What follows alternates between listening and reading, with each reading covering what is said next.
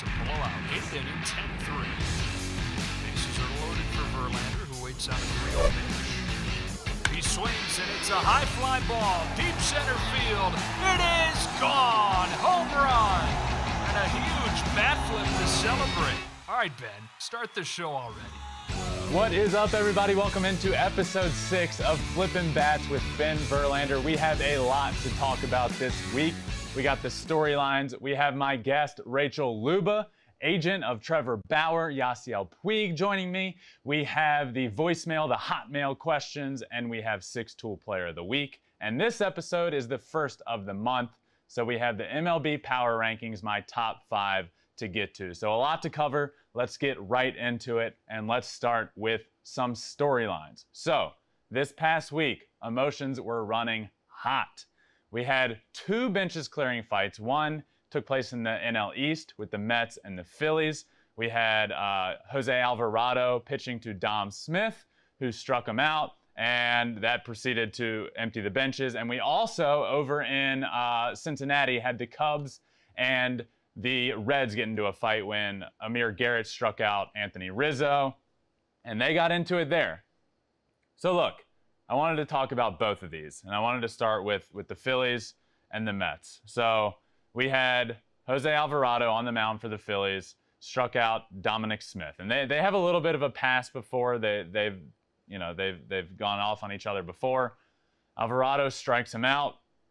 Uh, and and starts mouthing off to each other, and, and starts mouthing off towards Dom Smith. And next thing you know, I'm watching this game live. Next thing you know, Alvarado is taking his glove off, throwing it, um, like like he like they're getting ready to get into a huge brawl.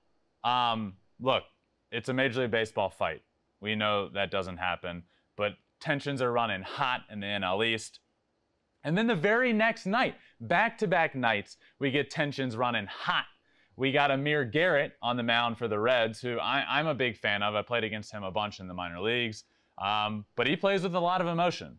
And the Cubs ended up taking offense to this. He struck out Anthony Rizzo and proceeded to, you know, mouth off towards him.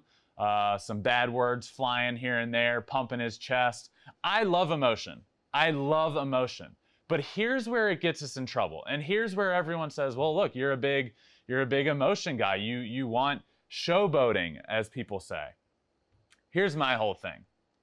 This isn't showboating. That's not what I what I'm a fan of. I'm a fan of players showing emotion. What we had here was pitchers pounding their chest, cussing at other opposing players. Anthony Rizzo is one of the most well-liked players in the league. We had Amir Garrett strike him out, start pumping his chest, MFing him left and right. Javi Baez takes offense to that, comes out of the dugout, flicks him off, and look, you, you, that's what we can't do. We can't show emotion towards other players and expect them to be okay with that. And that's what we had. We had players not only, I, am fine if Amir Garrett comes off the mound, pumps his chest, looks to his dugout, starts pumping him up, but that's not what he did. That's not what he did. He started doing it towards the other team, towards the other players, and that's where you run into an issue.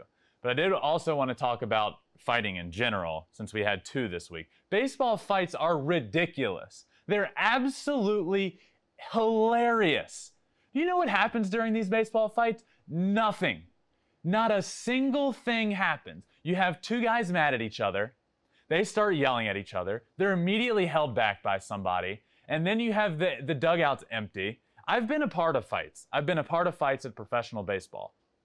You feel obligated to jump out of the dugout and then you just stand there. You literally just stand there. It is the funniest thing in the world, and nothing happens during baseball fights besides. It's it's like the joke, you know, like when when people like pretend to get in fights and like hold me back, hold me back. That's what happens. These guys get held back, and absolutely nothing happens. The bullpens come trotting in next to each other.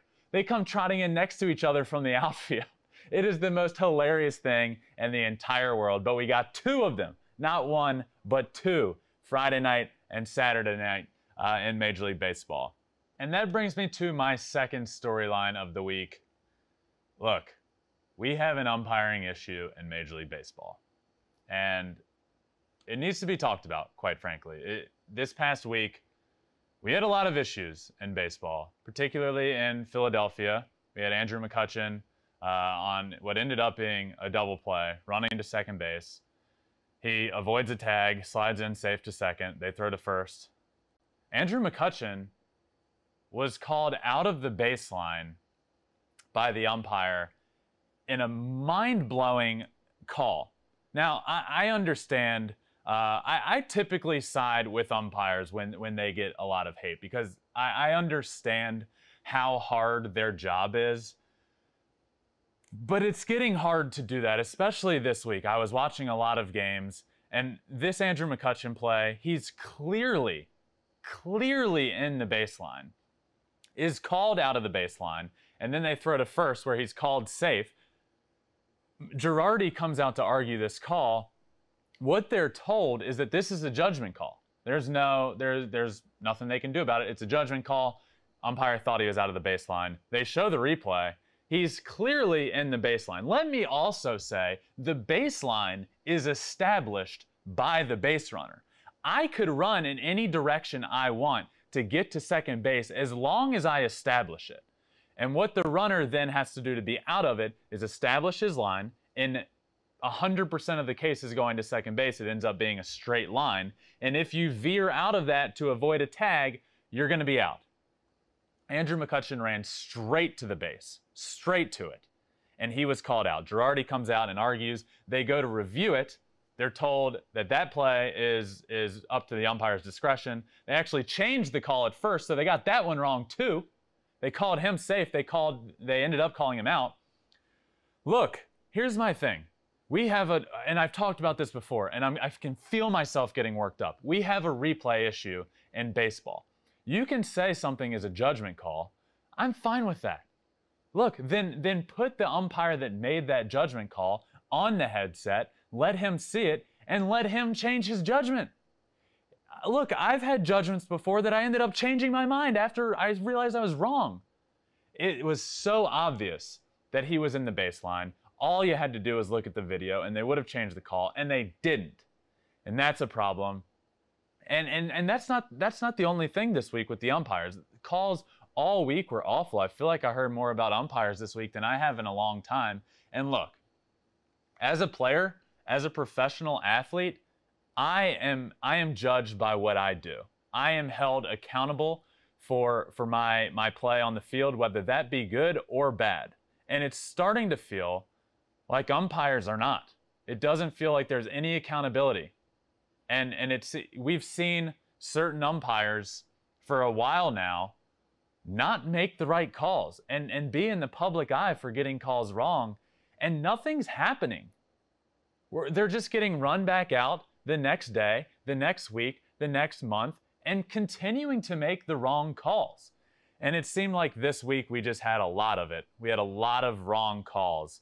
And, and even when it came to the strike zone, we were seeing calls, uh, just bad calls get called repeatedly. And I brought this up on social media, and people were saying, well, at least it's consistent.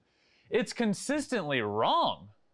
Just because it's consistent doesn't make it okay. Well, he's got you now you got to keep doing it. There's a plate there. There is a home plate.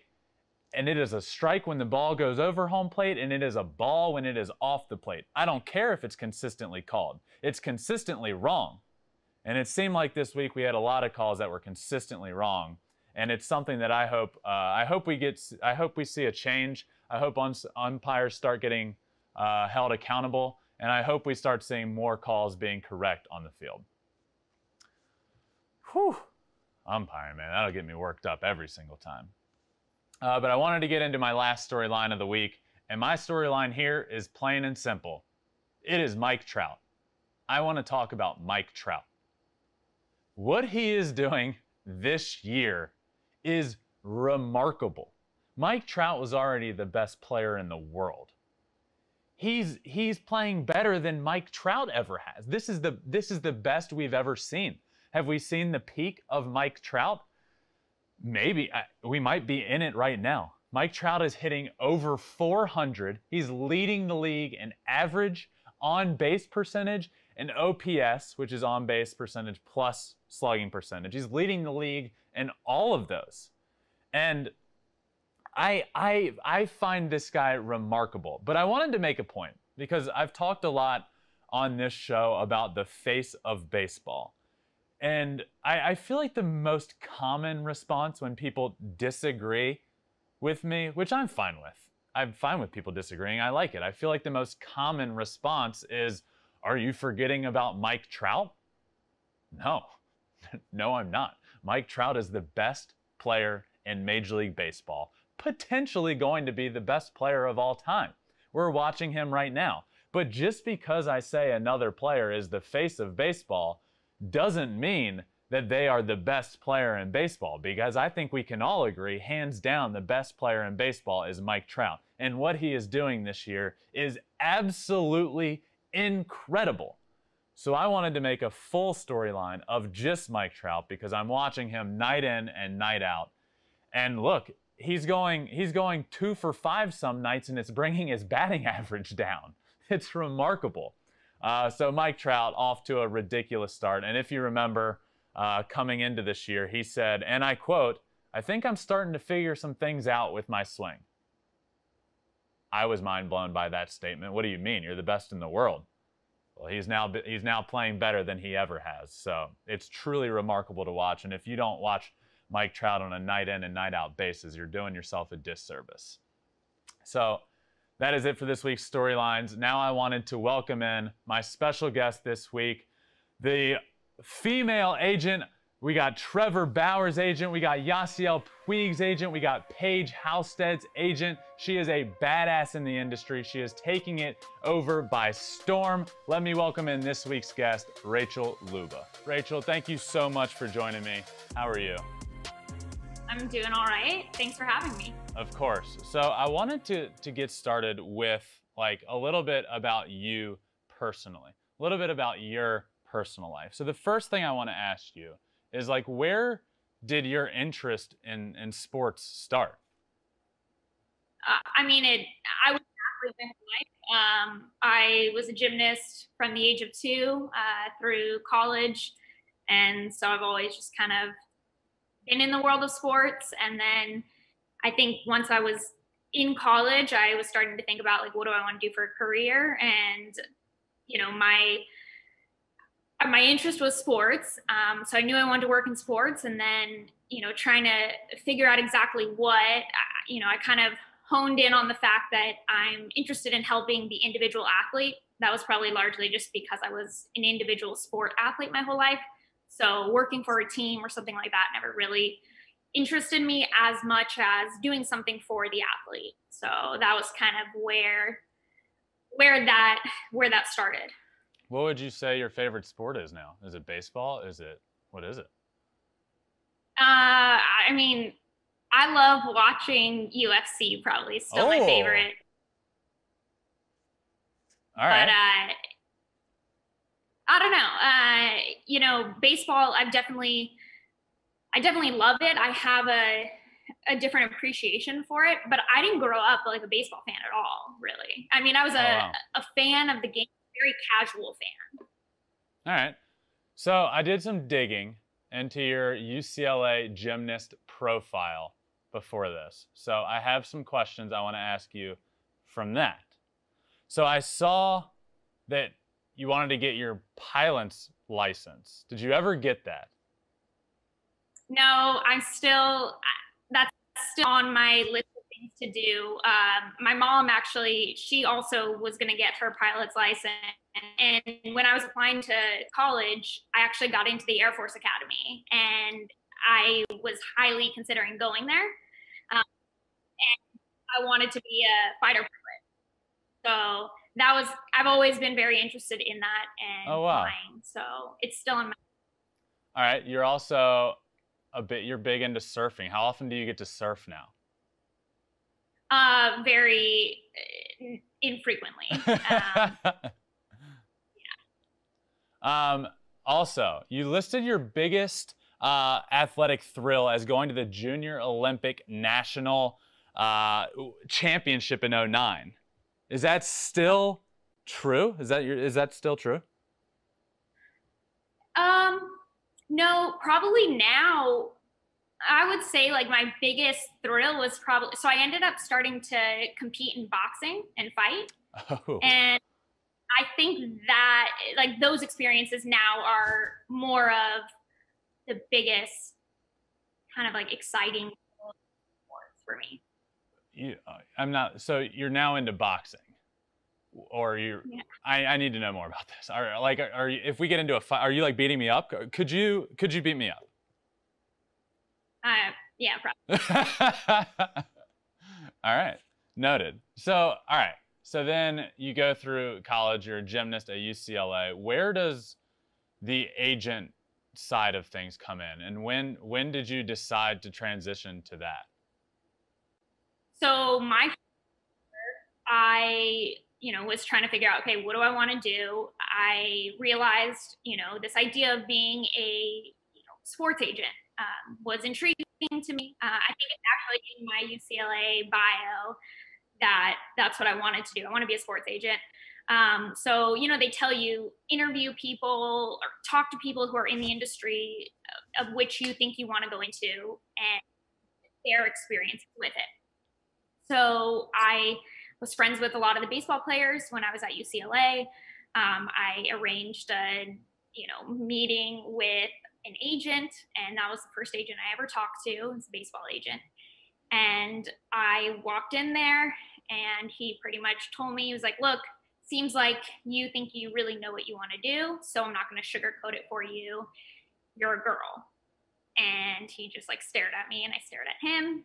and I, was, I am well aware.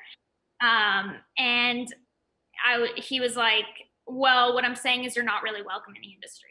And I was like, okay. Like at that point, I was a little annoyed. Um, and I was like, is that it? Like, that's all you've got for me? And he told me that he's like, look, I'm not saying you can't do it, but on what I'm saying is it's a boys' club. So that's just the reality of it. And I was like, all right, well, this is pointless. Um, uh, and then I was pretty much ready to leave. He's like, look, if my advice would be like, get a law degree because if you want any credibility at all and any chance, you're going to have to have that. So I walked out of there and I was like, all right, I'm going to apply to law school. And it kind of, I was dead set at that point, kind of on baseball. Um, and I credit him a lot in a lot of ways to that because had he told me, like, oh, it's, you know, it's a great industry. These right. are some of the kind of avenues you can take to break into it. Something that probably would have gone, oh, like this is really interesting. Now I'm going to talk to a football agent, or you know, I yeah. don't know.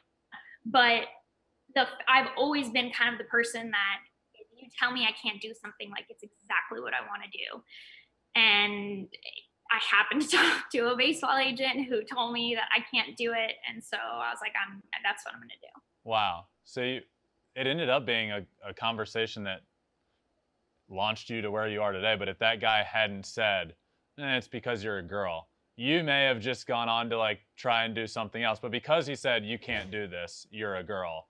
Uh, that's kind of what launched you to to pursue it more. Yeah, uh, I mean, basically, if I mean, I did have, I started to really like gain appreciation for for the sport. I knew baseball players specifically. I, you know, got along with well, so I, I could see myself working in baseball. Um, but you know, I had to teach myself the industry, how to teach myself the sport.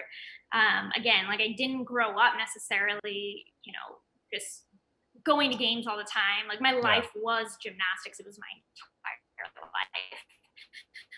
Um, but you know, I'm a big believer that teach yourself anything if you're really committed to it. So you ended up becoming one of the you're a huge agent in the game. You, you rep Trevor Bauer, Yasiel Puig, and, and countless others. And I know you said you went to, uh, you would go to games at UCLA. You knew some of the baseball players. Is that kind of how uh, it came about with Trevor? And, and is that where the relationship first started and you met him? Yeah, so he was one of, I met him my freshman year. Um, you know, he was one of the people over the years that really was willing to kind of teach me things in the game. Um, you know, being a girl, telling people you want to work in baseball and you know, not necessarily everyone's got to start somewhere. I didn't necessarily know it that well. And a lot of people kind of just roll their eyes at me and like, you know, girls don't know sports and you know, how do you think you can do this? And no one it was hard to find people that were very, you know, willing to teach me. And I think Bauer was kind of the perfect person because if you kind of just look at who he is, he's you know, he isn't your typical baseball player. He isn't your he's like not necessarily the most gifted athlete, but he, you know, was able to make himself into something in baseball. Um, you know, he, there isn't just he doesn't view things as like there's only one mold of like the kind of person you have to be in order to do something. And so I think that's why he never really questioned the fact that, you know, this gymnast who says, I want to work in baseball, like he never thought, uh, you know, you're, you don't fit the mold. He was just like, okay, you know, well, how are you going to get there? And so he was always willing to talk to me about baseball, teach me things, you know, from his perspective. And, you know, we kept in touch over the years. And, you know, he's always been big on exploiting inefficiencies in in the game. Um, and you know, I obviously kind of do that with my agency. And so I think ultimately ended up just being, you know, a, a good fit. And ultimately he switched. Yeah, that's what I was going to ask. There's a big difference between him like wanting to, you know, pers- telling you to pursue this industry and, you know, telling you how to go about it and then him at some point saying, "You know what? You're now good at I feel like you can be my agent because he's super successful in the big leagues. Uh, so there's one thing to say, you know what, you can do this. Here's how, and then saying, I want you to be my agent. So what was, how did that come about, and when was that? When did he switch? So he switched. It was like the end of October, I think, of 2019. Um, but it is a cool, it is a really cool like transition because one, people think like, oh, I was an overnight success or something, which like couldn't be further from the truth. This has been something that's like 10, you know, years in the making. Um, obviously no one saw that part of it, but he went from, yeah, being the one who was teaching me, you know, even just, okay, these are the, you know, different types of pitches that pitchers throw.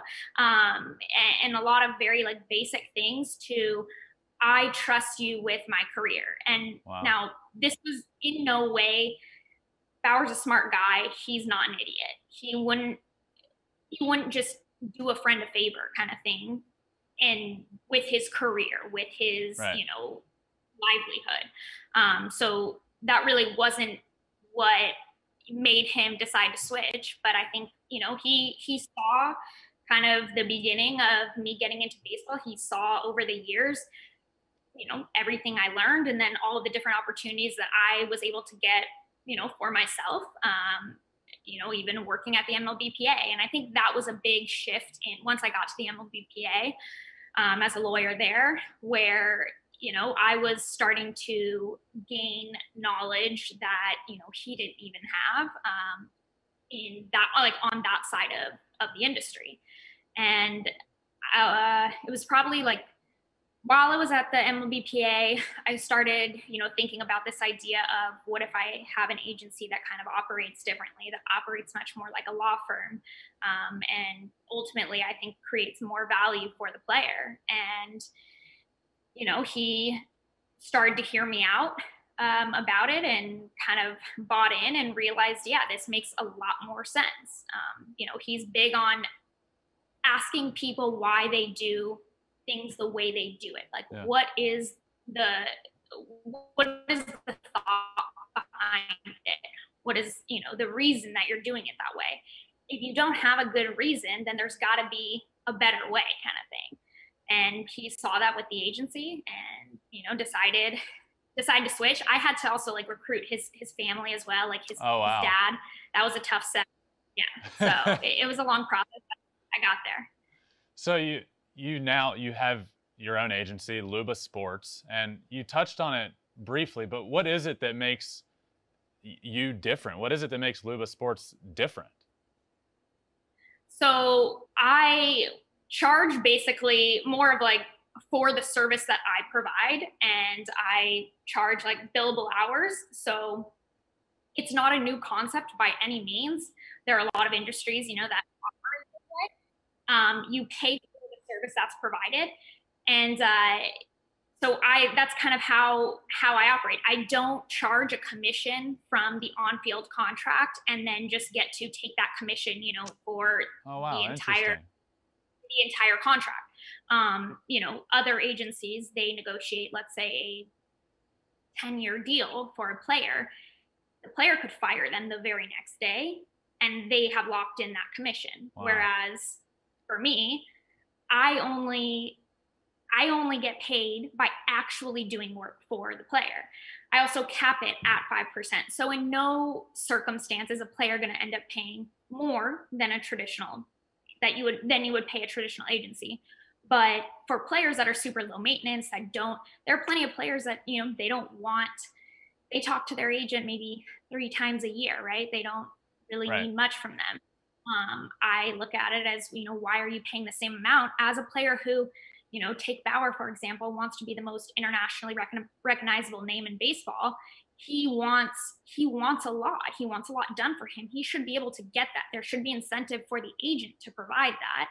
Um, but you know, and he's willing. Most players, I think, are willing to pay for a service. They just want to know that they're getting value in return. Um, I also just kind of looked at the industry, and you know, you take. I think Lindor's contract's a great example of it. Um, the few weeks leading up to his contract, you have media people, you have just analysts, et cetera, on Twitter, right, projecting kind of and predicting what they think someone like Lindor could make yeah. in an extension. They were pretty accurate for what he, you know, in the end with what he ended up getting. So I kind of look at it and I, you know, I ask the agent got 17.5 million over the course of that contract mm-hmm. Negotiating that contract, but did the agent actually provide 17.5 million worth of value? Right. Because you know the everyone was kind of predicting this what Lindor. So where did that 17.5 million of value from the agent come from? I'm not saying the agents don't do any work or anything like that, but is it worth you know that much money? Wow, that makes a lot of sense. And from you know a minor league standpoint, making six thousand dollars a year, I feel like I would have provided so much uh, for for an agency. Uh, you know, like six thousand dollars a year. Come on, that's a agents would love agents would love that chunk of money, right? that's the whole problem in itself. Absolutely. We could get in, we could get into a whole discussion on the minor league salary. But um, so what is what is day to day life look like for you? Like you you have players signed. Um, like when you're not dealing with a particular contract? What does day to day life look like for you? Um, you know, during season, it's a lot. There's no real structure to it. Um, usually, if I go, I go to bed every night thinking I'm gonna, you know, do X, Y, and Z tomorrow, and then it ends up being nothing like that. Um, the season is pretty much like the off season for agents. Um, it's that's when our work you hope is mostly done the contracts are negotiated. Um, but it's you know being the middleman dealing with kind of being the intermediary between your clients and the team if there are issues putting out little fires here and there dealing with the miscellaneous stuff that they need. Um, but you know there are plenty of days where there's not necessarily much you're doing with your clients. Um, there are other days where things happen that you weren't expecting that you deal with. Um, and then I would say, yeah, majority of the season is for me usually, you know, developing my kind of analytics part of the agency, um, you know, recruiting, things like that. You've been very outspoken on on social media about the game of baseball and kind of transitioning into being a more fun game. What would you do? What would you change um, to make baseball more accessible, to make it more fun? You know, I you know I, see your tweets. I see you know um, Bauer tweet the same sort of stuff. You guys are both very like, look, there's so much potential for the game of baseball. What what would you do? What would you change? A lot. Um, I think one of the benefits, though, of someone like me coming into the industry is I'm not clouded by this tradition. I didn't grow up with it. I don't know your tradition. I don't. This isn't. I I wasn't, you know, brought up in the sport of baseball. So all of these things, these unwritten rules, things like that, they're yeah. silly to me. I'm like, wait, what do you mean? Like, why, why? And so I think the way I kind of look at it is this isn't. It's an entertainment industry. It's it's a business. Like you gotta you gotta you know capitalize on on certain things in order to have a successful business and i think baseball doesn't do a good job at it i think they're missing out an entire generation of fans you know i grew up in the era of social media and things like that and baseball is really behind in that kind of stuff mm-hmm. um, the sport for young kids it's not a cool sport it's not something that you know gets young kids excited quite the, quite in the same way as you know, basketball does or football. 100%. And there are reasons there are reasons for that. I think baseball's got to do a better job at, you know, marketing players, at marketing their own sport, at making it cool and exciting. Um, you know, and I think we were talking about this uh, a couple days ago, but even just the the broadcasters that you have, they're constantly talking about how well back in my day, this is how it was yep. played. And I'm a young kid watching that it doesn't it doesn't make me feel like wow baseball today is really cool it makes me feel like wow this sport isn't as cool as it used to be i guess you know yeah i think that's that was our first interaction i think on social media was me kind of when i announced this podcast and what it's going to be about and what i feel about baseball and how it's been portrayed for so long uh, in I don't want to say incorrectly, just very old school. There's so much potential for the game of baseball. And that's kind of, uh, I tweeted something out about that. And that's where you basically were just like, hell yes, like you, you get it. And, and that's, that's what it is. And that's why I wanted to bring you on because I know you're also in an industry that can be very stuck in its way and very old school and very like, this is how you do it. And just to see you tweet about like um, and i've said that before like you, kids coming up basketball is just fun. Like you can see the guys having fun. You can see you can hear it in the announcers. When they're talking they get excited like they're fans. It's not oh uh, LeBron James just dunked that. It's like, oh my God. And that's like, that's what the game needs. It needs to evolve into being fun and people that are talking about it being fans of the game. That's what I am. I'm a fan of the game. And it sounds like you yourself are, are a big fan of the game. Yeah, no doubt. I, I think that's like, I've, you know, even watched with my family again. So I didn't grow up in a baseball family, right. none of that. And I, my parents and my brothers couldn't have been more disappointed in the fact that I went into baseball at first. They're like, why? So boring, Rachel. Like of every sport you could have done, why baseball? And you know, now I've gone to a point where you know my siblings will put on a postseason, you know, baseball game, and they'll be watching it and texting me about it. That never would have happened before. but for example, my youngest brother, he's a huge he he was a big Astros fan and was, you know, rooting for the Astros. And because of certain things, like certain stories that I would tell him about certain players, and he felt like he would, he kind of developed this connection in a way with yeah. certain players that he liked and he rooted for. But had I not known some of these things about certain players and been able to kind of give him this inside peek into, you know, various athletes on the field, like he wouldn't have cared at all about the Astros. And so I think baseball's got to do that. They've got to start marketing players. They've got to start making players relatable in a way. Um, and, and then that way, you know, fans have some sort of connection and they root for them, especially nowadays when you've got players who, you know, they bounce around. You don't have uh, career, you know, athletes usually with one team, one mm-hmm. organization. You know, people in basketball are LeBron James fans. They they've rooted for the Cavs, they've rooted for, you know, the Heat, now they root for the Lakers. It's cuz they're LeBron fans, right? Yeah. I feel like baseball lacks that. Yeah. And I feel like that's also a great point. You find you see so many people in the NBA that are LeBron James fans. So they'll root for him in Miami, they'll root for him in Cleveland, they'll root for him in LA. I, I sort of feel that way. I, I, I see them trying. I see Major League Baseball trying, and I see them doing a better job. And I sort of feel like if a guy, you know, he just signed a mega deal, but if a guy like Tatis moved in five years, that people would follow him. I really feel like he's kind of that first guy that people would be fans of if he moved to a totally different team. Do you agree with that? Yeah, absolutely. I think he's, but he's creating this persona, you know, about uh, like about himself that people are they're latching onto. They really yeah. like it. Um, people are have become Padres fans that don't live in San Diego. That's what you need. Before, how often do, would you find, you know, people tuning into the Padres who are not from San Diego or have some connection to San Diego? You wouldn't. But now that the game is getting a little more exciting, now that you've got the Padres with all these kind of on-field antics, people are tuning in. Look at last year. People were tuning into, you know, the Reds like Trevor Bauer kind of made the Reds relevant in a way. And mm-hmm. I mean, who would have cared what the Reds in Cincinnati were doing before?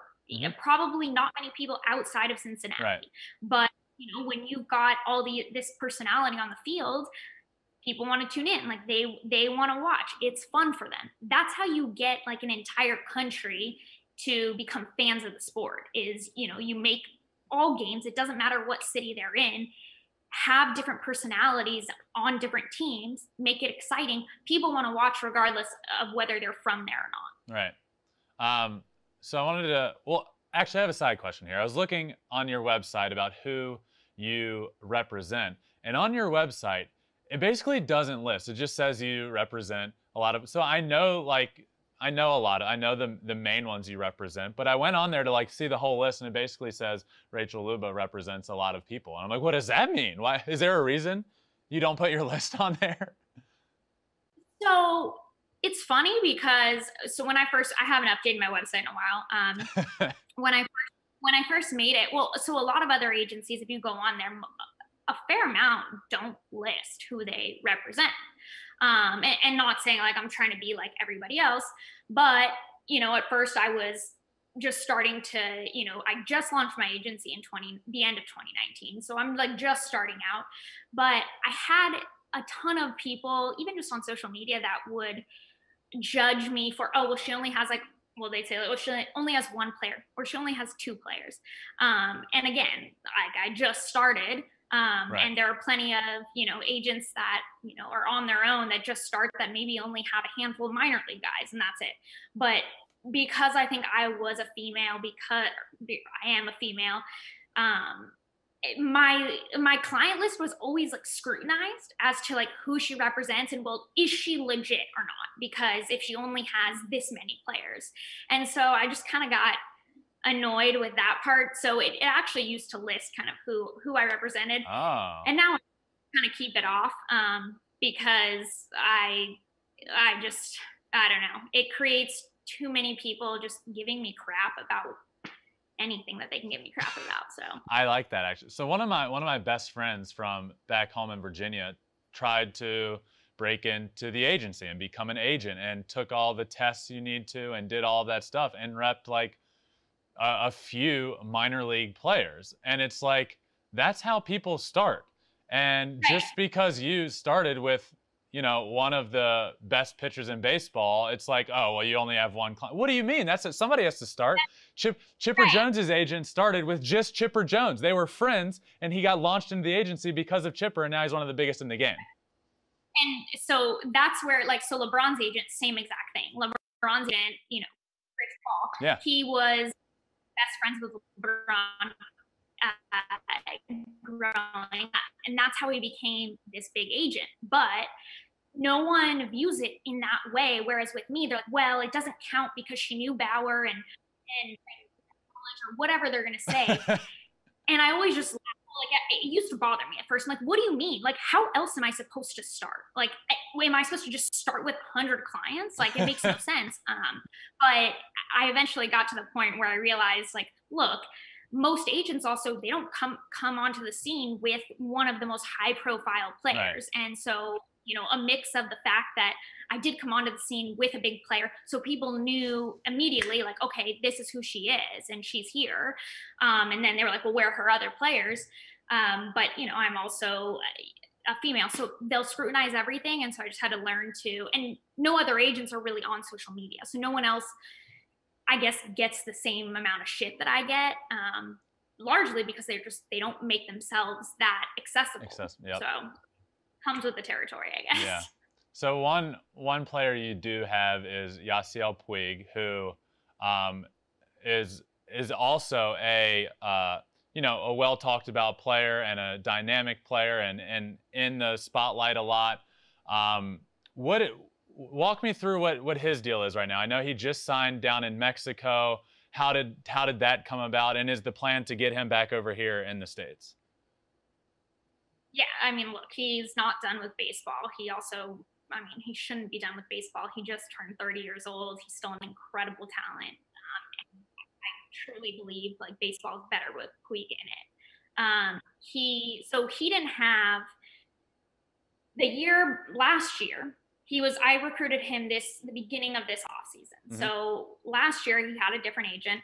He didn't have a job for a variety of reasons just couldn't come to a, you know an agreement on a contract and he ended up just you know sitting out the season.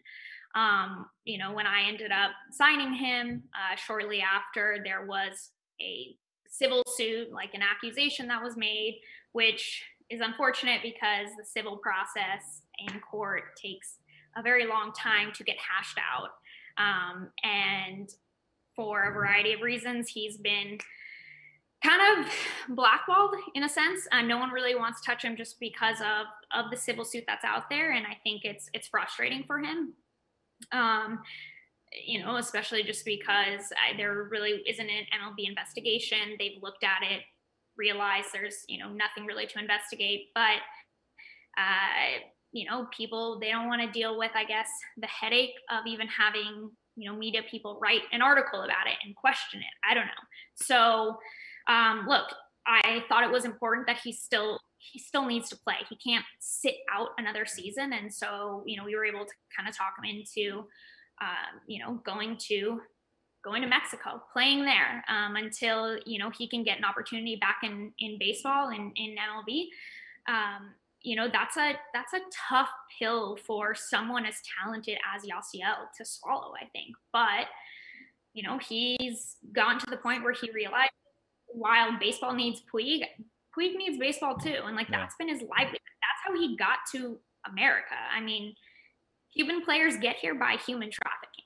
That is how they get here. Yeah. They they fight for their life. Um, baseball saves them. Baseball gets them out of their situation in Cuba and you know this isn't the first time he's had to you know kind of fight for something and fight through you know some low points but uh you know he's over in mexico right now and um, you know we set up the contract in a way you know he's one of the biggest names probably that's been been in mexico so oh, yeah. they're pretty excited to have him and uh, his contract set up. So there's no no, no buyout where normally uh, you know for a, another league to be able to get a player who's already who's playing in a different league they would have to pay that league that team some money. Um, there isn't that in his contract. So essentially if an opportunity were to open up whether it's in asia or in mlb he would be able to get out of his mexico contract oh nice. Nice. So i obviously it's not the goal to go play there did you have to push him? Were you kind of the one that was like, look, you, you need to do this right now? Yeah. Um, I, yeah, he wasn't, he wasn't, you know, definitely wasn't asking us to, you know, asking, I want to go play in Mexico. Um, you know, it, it wasn't something he was too, you know, too enthusiastic about. Mm-hmm. And, you know, when I first brought it up, I don't think, uh, you can get the best response from him. Uh, but you know, he I think he realized this will be best for him. Um, of course, you know, I've gotten a bunch of criticism on social media about at first, you know, where is Puig? You know, why you're asking? You must be asking for too much money. Like, yes, surely, because you random fan know what's going but uh, and then once you know we got him the contract in Mexico, it's you know he's one of the best players. I can't believe that's the best you could do. Like again, you clearly know so much about the industry. But uh, you know, he's look, he's I think excited just to be playing again. Uh, you also represent a softball player, Paige. Uh, tell me how it's different representing a softball player. Obviously, uh, there's the obvious things that come to mind. What's more difficult, and it's that you know it's not near as uh, as big of a sport as Major League Baseball, and there's not as much of a oh well at the top of the sport you go play here. Uh, one, how is it representing her, and and what are the challenges with representing a softball player? So representing the first time, I don't know like softball really at all at first, and uh, when I was helping her with her professional contract, I I remember calling another uh, another softball player that I played professionally for a while, and I just kind of like told her about the contract and was like, "Is this normal? Because this is nothing, the money." And she just laughed. She was like, "Yeah, this is what softball players get. I mean, for a season, like they're lucky if they get, I mean, 10 grand is a lot. And which is like just shocking to me Wow. because given the being like what a baseball player will get, right? Um, so the money for a softball player actually like does not come from playing professionally in that contract. It comes from the endorsement deals that they get. So a lot of you know representing her is um, you know kind of building her brand and the you know the endorsements and you know so, the softball world, the softball industry, especially when it comes to um, you know the youth softball players. They're able to do a lot with them and camps and things like that, and so they can they can do really well with that. Um, but the actual sport of professional, there's like no money. Oh wow, interesting. So where where is she? Like when you sign with it, like what what league is she in, and where is she right now? So she actually played with Athletes Unlimited. So it's a actually a brand new league that just started, um, and I think they're doing multiple professional sports. Like I think they're doing volleyball, some other things, but it's a really interesting new league. Um, but they have the whole marketing the game and making it more exciting. Like Love they've got that. that part down, and I think it's it, it's it was really cool to see even last last season when they did it. Um, they mic'd players up, things like that. So they're definitely kind of at the forefront of being progressive, kind of in the baseball softball world. Cool. Um, but that's where that's where she went out to play. Um, but I know like Japan has a lot of a lot more opportunities as well for softball players.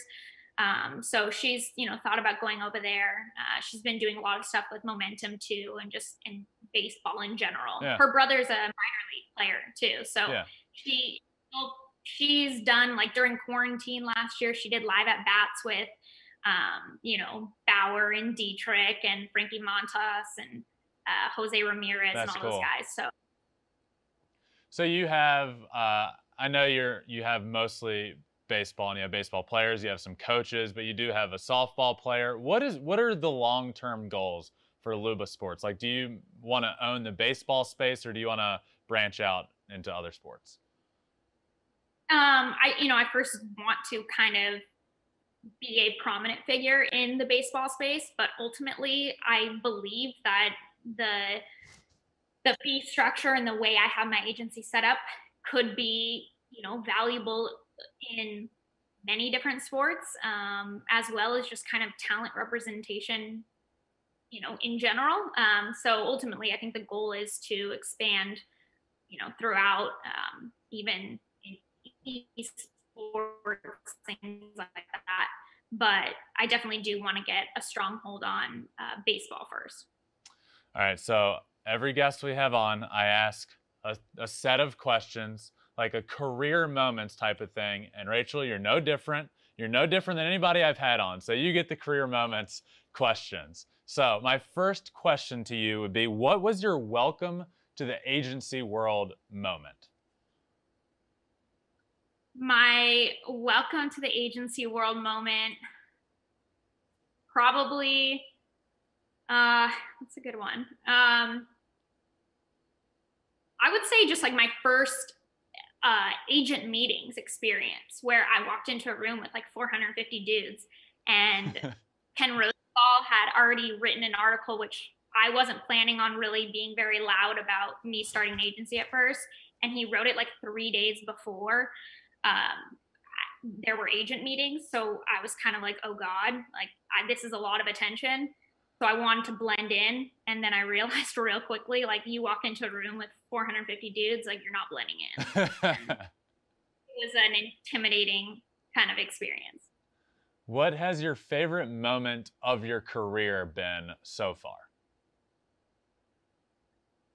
Probably probably like Bauer's press conference in LA, being there and realizing it like after a season an off season full of you know people questioning whether we could even get him a 30 you know million dollar aav or something um, just like knowing kind of the record breaking contract that we got him and seeing him in la especially given that bauer and i you know both went to school at ucla it's where we met and just like how far we came that's cool. That's really cool. And and when you look at your journey as a whole, what would you say is the most pivotal moment in your career? Um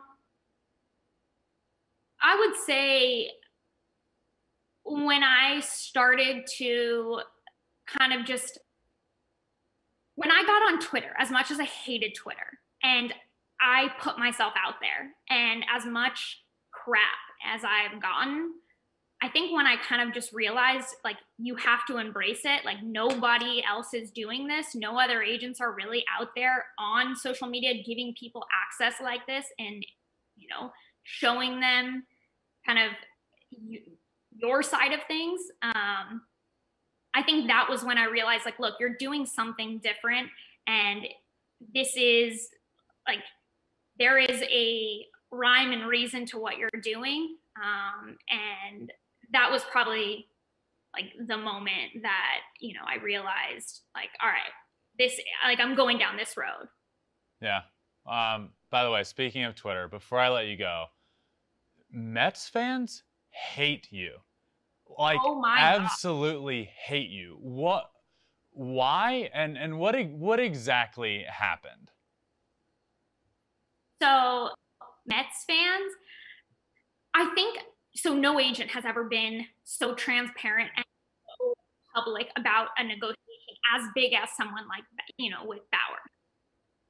So I don't think fans really understood like how agents do their job. Um, they, you know, you create leverage. Your job is to get your player the best contract possible. That that's what we did. And Mets fans, I think they were so set on the fact. I mean, look, media, there were a lot of leaks by teams uh, to the media, and media was making it pretty clear that Trevor was going to go to the Mets. So everyone was very set on, you know, that's where Bauer's going. And the fans felt like they got played and that it was my fault or something. Um, so they were very mad at me for that. They said, you know, you have no integrity Mets will never negotiate with you again, which is silly because like this is how the industry right. works. And they like, know that. Yes, this is this is how agents do their job. But I don't think that fans have ever really seen that because nobody has, you know, given access to a negotiation the way Bauer and I did. So they hate me one for that. And then there was, you know, Bauer's marketing team that he has. There was the mishap with the website thing that happened. Mets took that very personally, which I, look, it wasn't that wasn't great at all. Um, and Bauer almost changed his made his decision based off of that. And you know, I, I look, I told him obviously when you know he had two options, you know, it, it's his choice. But you know, I had to make sure to make it clear to him like we will not make a decision based on something that an accident that happened. Like you don't make a decision on that. And ultimately, you know, he decided for a variety of reasons that the Dodgers was the best fit for him. But uh, that, that whole thing, I think, really made Mets fans mad. And yeah, they don't like somehow. Uh, it's it's pretty it's pretty remarkable. But the the best part is they like a lot of them still follow me and make it a point like every day to go out of their way to like say mean things and to respond to things. So I think they secretly love me. So he it sounds like he almost he essentially had his mind made up and almost totally changed where he was going to go because he felt so bad that it happened.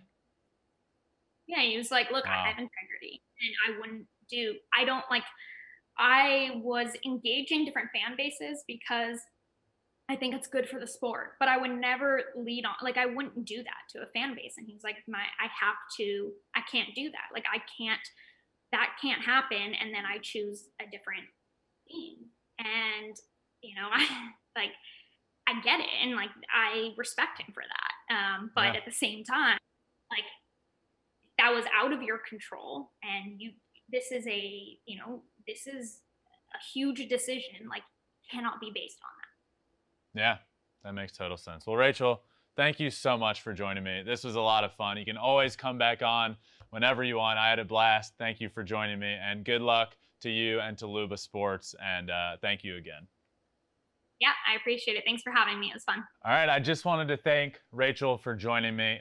Look that Trevor Bauer story was interesting in itself. The fact that he almost signed with the Mets, and because of that whole situation, uh, I hadn't heard that before. So really cool to hear Rachel talk about that there. And I also found it interesting uh, how her agency is run so different. I just assumed um, she was very similar to all other agents, and just off the top, they get a certain percentage of an overall deal. So really cool to hear her go in depth on that and how her agency is run. And I just wanted to thank her for joining me this week. But now it's time for the hotline, one of my favorite segments of this show where you guys can call in, ask me absolutely anything you want, vent about your team, uh, ask me questions that happen throughout the week. I love this segment, so I wanted to get started with this week's voicemails. So, Rick, hit me with the first voicemail. Hey, Ben. This is Rob from New York, uh, longtime listener, first time caller.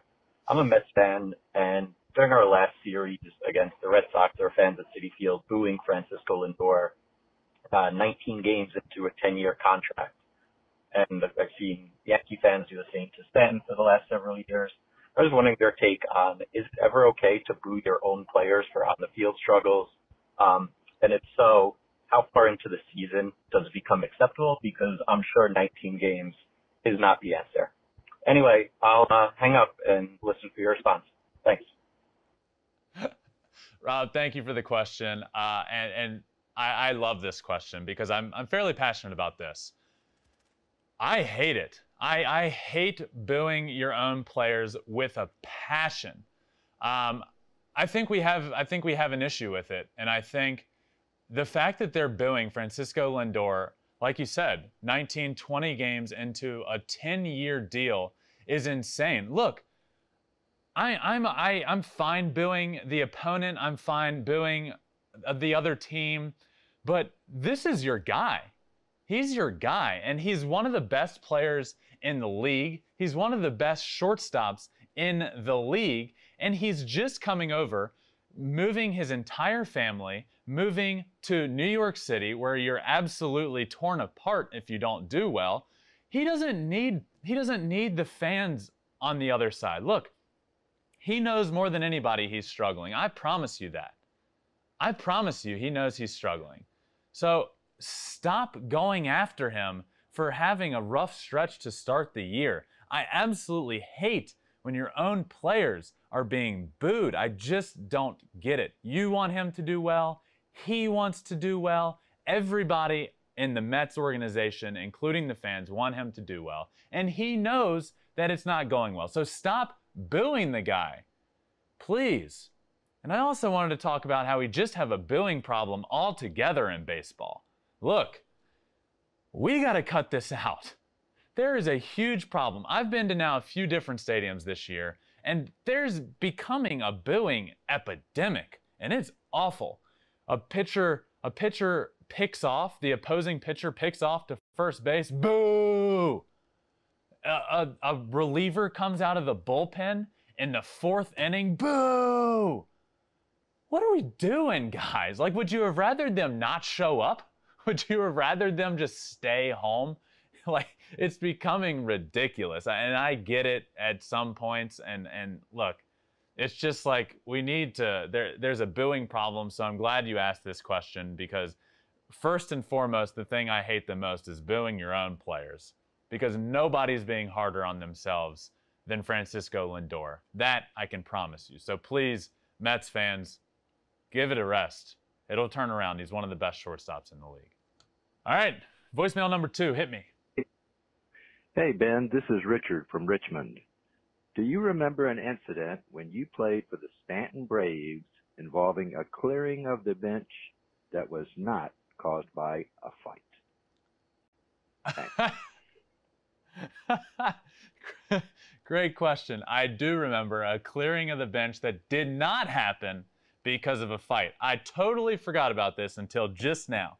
I was playing in a summer league in college uh, in Staunton, Virginia, in the Valley League, and we cleared the benches because a skunk was found in a dugout. So, so, so there was no fight, there was nothing. All of a sudden, I just see players running out of my dugout, and I'm like, "What's going on? What, what am I missing? What am I missing?" And all of a sudden, I hear skunk. So, so we run out of the dugout and the game is delayed a good 20 to 30 minutes because there was a skunk literally in our dugout. It was an older field, an older stadium, and apparently this skunk lived underneath the stadium. And every once in a while, it decided to crawl out. And uh, this game, it sure did. And it was a stinky situation. but great question. Hit me with the next one. Hey, Ben, this is Carl. Wanted to know your thoughts on all the talk revolving around exit velocity. It seems like this is all we are talking about now. And in my view, this is not a real stat. No one is getting a contract based on exit velocity, yet Disagree this with is that. all we talk about. Why should I care as a fan about the exit velocity? In my head, 80 miles an hour versus 110 miles an hour, as long as it's over the fence, that's all that should matter here. Why are so many people just so invested in this non-stat? Thanks. All right, I, I like that question. Uh, but where I'm going to disagree with you is that it it's not helping or hurting players with, with contracts. I disagree. And at the end of the day, this is a business. Baseball players are judged based off of what they do on the field. And as we get more and more numbers and more analytics, it's becoming even more so you're judged by your numbers. And I promise you, teams are looking at exit velocity as a stat when determining uh, how much to pay a guy. Oh, okay, in 2015, your average exit velocity was this. In 2020, your average velocity went down two miles an hour. Uh, so you're clearly on a downward trend. So we're not going to pay you as we would have if it were this. It, it matters, I promise you. It's the same with, with spin rate. Is it an actual stat? Uh, no, but it's a number that we get. It's a number that we know, and it's a number that we know what it means. And it matters, and teams are looking at it, and, and I promise you it matters. But if that's not the only reason you should care, but I also think it's just, I think it's cool. I think that's the thing that for fans is it's cool to see. Like, it's cool to see Giancarlo Stanton hit a home run and see that had a 115 mile an hour exit velocity. Um, but yeah, but but for the most part, I understand what you're saying. Like, uh, you know, it's not a stat that goes down in the record books by any means. But but why you should care about it is because your favorite players are being judged off of it. I promise you that. So, thank you for that question. Thank you for all of your voicemail questions. Uh, these were fun this week. So make sure you're getting all those questions in. Uh, the number is 213 537 9339. So please make sure you are getting in those questions weekly. Uh, I really enjoy this part of the show. It is a part of the show where you guys can call in, ask me some questions, voice your concern with the team. Uh, so thank you for getting your questions in this week. But that brings me to my six tool player of the week. This week's six tool player of the week, Nick Castellanos of the Cincinnati Reds. Uh, look, this guy has just been asking to be the six tool player all year, and it just hasn't worked out until this week. Nick plays the game with passion. He plays it with strong energy. That's what we love here. That's what the six tool player is all about. But look, if you want to look for a certain moment, let's go back to just the other day. Let's go back to Sunday. He had five hits, he had two homers, he had a walk-off hit. One of his homers was on a 3-0 count. We love swinging 3-0. We love it. But look, Nick from the beginning of the year has been playing this game really, really hard. He's been playing with a lot of energy. He's the reason he, he started. Uh, if you remember that fight earlier in the year between the the Reds and the Cardinals, Nick stood up over the pitcher, said, "Let's go," in a little in a, in a way that wasn't as nice as that. Um, and look, he after the game he went on about how he just plays with energy, plays with passion, and and that's what I love. He had an incredible week this week. He was flipping bats, he was hitting homers, he was uh he was hitting walk offs. So this week's player, or six tool player of the week is Nick Castellanos of the Cincinnati Reds. This week though is the first episode of the month. So I wanted to get into my top five power rankings of the month, which is something I'm going to do on the first of every month, uh, the, the first episode of every month. So I wanted to get into my top five. And at number five, I have the Chicago White Sox. Uh, this week they had a tough injury. Luis Robert went down. So the White Sox I have at number five, they're still playing well. They have a lot of talent on that team. They have a bunch of guys that I can promise you will be six tool players at some point this year. And it's still a perfect combination of young, exciting players and good veteran players. And they're playing good right now. I like the I like the White Sox in the American League, and I have them at number five on my power rankings this week. At number four, the Milwaukee Brewers. The Brewers are a fun team to watch. I think they have the best one-two punch in the rotation in all of baseball. Brandon Woodruff and Corbin Burnes, who is, is out right now with COVID, but he is incredible. And if it weren't for the best pitcher on the planet doing his thing in New York, Burnes would be the front runner for NL uh, Cy Young at this point. But the Brewers are playing great. Uh, they're they're leading the NL Central. Their their their offense is playing well. Their pitching has been dominant, much better than I anticipated at this point, and they're a really exciting team to watch. I have them at number four in my power rankings. At number three, the Boston Red Sox. I'm happy about this one.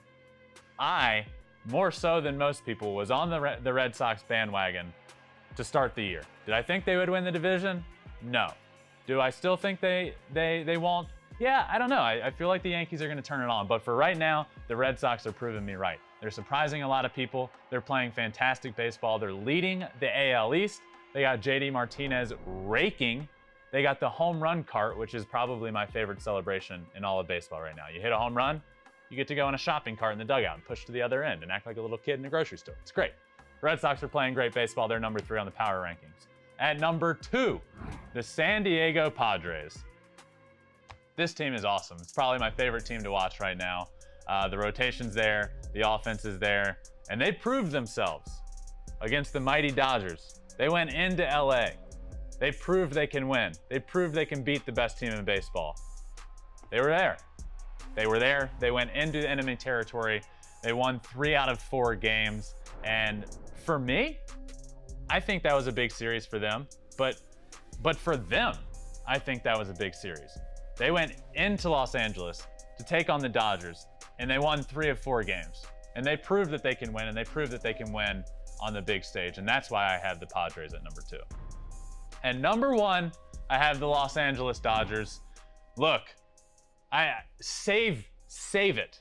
All of your they had a bad week, blah blah blah. I don't care. The Los Angeles Dodgers are the best team in baseball. If they were to get matched up with anybody in the league right now in a five-game series, a do or die must win, I would pick them to win it because they have the best roster, they have the best pitching rotation, and that is why I have the Dodgers as the number one ranked team in all of baseball still. It could change if they have another week or two of not playing good baseball, but for right now, they're loaded up with injuries. Uh, they're loaded up with talent, though, and I would pick them to win in, in any series right now. And that is why the Dodgers are my number one ranked team in this week's power rankings. So that does it for this week's episode, episode number six of Flippin' Bats. I wanted to thank Rachel Luba, my guest, for being awesome. Thank you for joining me. I wanted to thank you guys for joining me. Now, make sure if you're not subscribed, hit that subscribe button anywhere you listen to your podcast. Make sure you're following. We have a bunch of social media. We have Twitter, we have Instagram, we have YouTube, we have Facebook. Make sure you're checking all that out. Uh, it really means a lot. I love interacting with you guys there. Uh, so keep doing that. Make sure you subscribe, five star rating. Thank you guys so much for joining me. This was a blast, and I will see you next week on Flipping Bats.